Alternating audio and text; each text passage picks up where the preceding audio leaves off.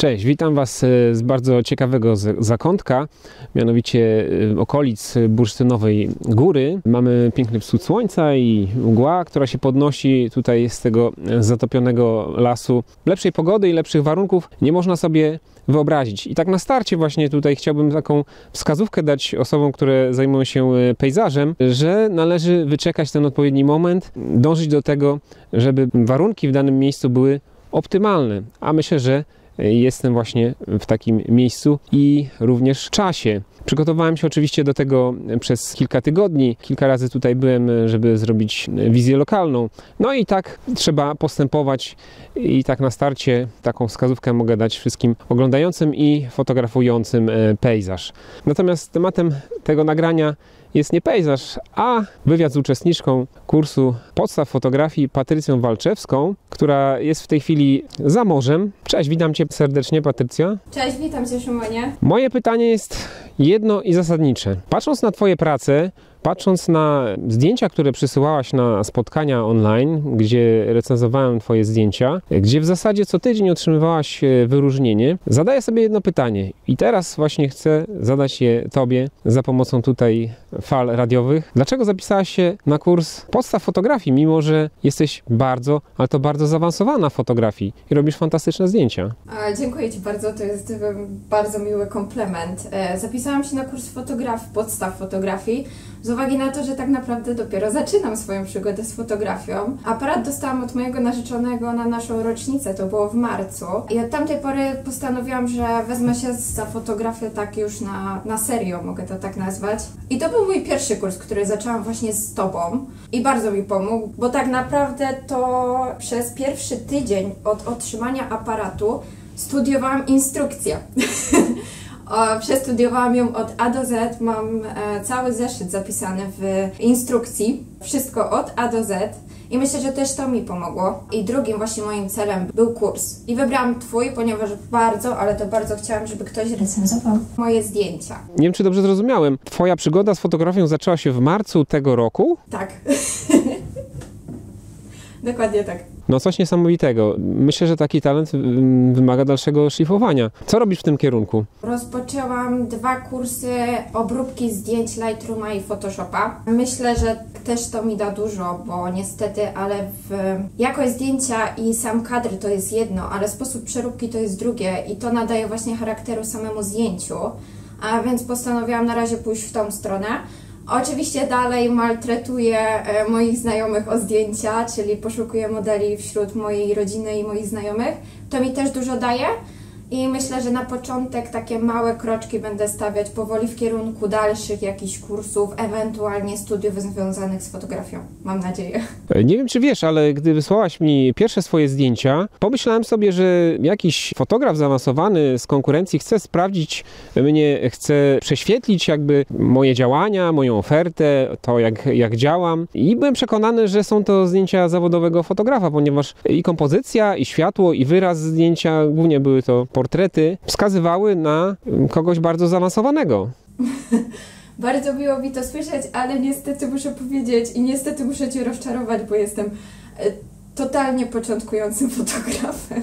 Czy myślałaś, żeby zarabiać z fotografii, żyć z fotografii, jakoś dorabiać, czy zmonetyzować swoją pasję? Szczerze powiem na początku nie. W momencie, kiedy do, e, dostałam aparat od, od mojego narzeczonego, to była taka pierwsza myśl, że a może kiedyś, ale nie tak w, na przykład w tym roku, w przyszłym roku, ale w momencie, kiedy zapisałam się do Ciebie i zrozumiałam, że moje zdjęcia nie są jednak takie bardzo tragiczne e, i zaczęłam tak jakby patrzeć trochę inaczej na swoje własne zdjęcia i swoje kompozycje i oddawanie tego, co widzę, i co bym chciała oddać widzowi jako, jako fotograf, zaczęłam myśleć, że to w sumie nie jest głupi pomysł, żeby zacząć robić właśnie coś, co kocham i coś, co by mogło dać mi jakiś tam zarobek, tak? Więc teraz osobiście i w tym momencie myślę, że wkrótce może mi się uda otworzyć własne studio, bardzo bym tego chciała i w końcu zacznę tak naprawdę pracować z osobami nieznanymi mi, nie, nie z rodziną, tylko właśnie z osobami, z którymi mogłabym pracować codziennie z jakąś inną osobą i codziennie odkrywać coś nowego, więc mam nadzieję, że mi się to uda wkrótce. Czy znajomi rodzina, gdy zaczynałaś właśnie swoją e, przygodę e, z fotografią, dawała ci takie znaki? Patrycja, musisz to robić, musisz się rozwinąć w tej dziedzinie.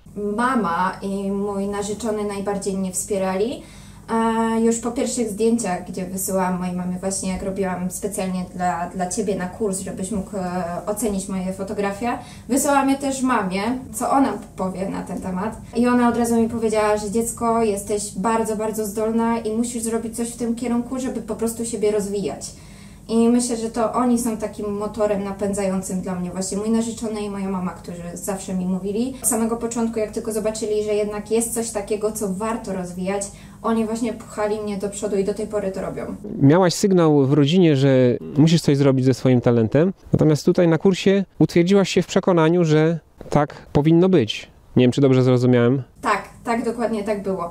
Może to było tak, że w momencie, kiedy otrzymałam aparat, wszyscy twierdzili, no, no nie wiem, no może chcesz sobie robić zdjęcia, tak na przykład, nie wiem, mm, podróży, taki aparat typowo dla mnie, tak, żeby uwiecznić te chwile, które na przykład według mnie są jakoś ważne w moim życiu, ale w momencie, kiedy zobaczyli te kadry, stwierdzili, że jednak coś jest takiego, że, że naprawdę warto na to spojrzeć z innej strony, nie tylko jako e, zdjęcia, które robię sama dla siebie, ale także które sprawiają widzowi radość, tak?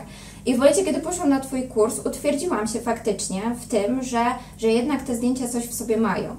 Więc tak, to jest prawda, że, że w rodzinie mówili mi od początku, a dzięki Tobie i Twojemu kursowi i recenzowaniu zdjęć e, uwierzyłam w siebie. O. Jaki rodzaj fotografii zamierzasz uprawiać? Portret, definitywnie to jest e, mój faworyt. Będą portrety. E, mam nadzieję, że studyjne i plenerowe. I także bym chciała pójść w fotografię zwierząt. O, ciekawe. Bardzo rzadko sięgany temat. Chyba, że psy i koty, no to już inaczej. Powiem szczerze, że jestem zwolenniczką, uwielbiam zwierzęta, więc dla mnie będzie czystą przyjemnością pracowanie z każdym rodzajem zwierzątka. E, Od portretów psich, bo wiemy teraz e, ludzie też e, bardzo by chcieli mieć w swojej galerii zdjęcie swojego pupila, więc myślę, że to też jest jakiś dobry dla mnie kierunek, skoro bym mogła znowu łączyć coś, co kocham z przyjemnością z fotografowania. Więc e, fotografie psów, kotów na pewno też się znajdą w mojej galerii. Patrycja, podsumowując, jesteś bardzo zdolna. Zauważyłem to na samym e, początku, podczas e, pierwszych zdjęć, chociaż miałem wątpliwości, kim tak naprawdę jesteś. Musisz kontynuować swoją pasję. Mogę Cię tutaj okrzyknąć tutaj odkryciem roku, chociaż mam bardzo zdolnych studentów, ale nie znam do końca ich jakby początków. Czasem przychodzą po prostu już na średnim poziomie albo na wyższym, czasem zaczynają od zera. W Twoim przypadku wiem, że rozpoczęłaś e, kompletnie od zera i wystartowałaś jak burza. Musisz realizować e, swoją pasję, musisz się rozwijać w, w tym, co masz, ponieważ jest to twój skarb, musisz go e, powiększać. No nie możesz tego po prostu zaprzepaścić. Mówię to właśnie w takiej formie, ponieważ grzechem byłoby e, nie wykorzystać tego, e, co się ma. I przy okazji myślę, że fotografowanie jest e, dość przyjemne. Tak więc życzę Ci, żebyś się rozwijała, żebyś czerpała z tego przyjemność, żebyś nie straciła radości z fotografowania z biegiem lat, y, bo czasem dopada człowieka e, takie pewne znudzenie, więc zawsze można sobie jakiś inny temat wybrać dodatkowo, żeby się rozerwać. Również y, osiągnięć może w konkursach fotograficznych, może w jakichś publikacjach. Życzę Ci wszystkiego dobrego i również dobrego światła. Tego się życzy fotografom. Dziękuję pięknie i dziękuję Ci również za lekcje, które mi dałeś i za to, że, że oceniałeś moje zdjęcia, pokazałeś mi, co jest dobre, co jest złe, bo mi to naprawdę bardzo pomogło. I w sumie dzięki Tobie się narodziłam tak naprawdę, więc bardzo Ci dziękuję. No oczywiście mój udział był tutaj znikomy, ale pozwoliłem sobie przeprowadzić tą taką rozmowę, bo myślę, że warto i myślę, że za jakiś czas w jakiś sposób się skontaktujemy, albo przynajmniej udostępnię Twoje zdjęcia, które wykonasz gdzieś tam na mediach społecznościowych, żeby się pochwalić po prostu, że miałem kiedyś taką uczennicę. Także wszystkiego dobrego. Dziękuję. Życzę dobrego światła jeszcze raz, powodzenia w fotografii i w tej fotografii komercyjnej również. Dziękuję pięknie. Bardzo Ci dziękuję.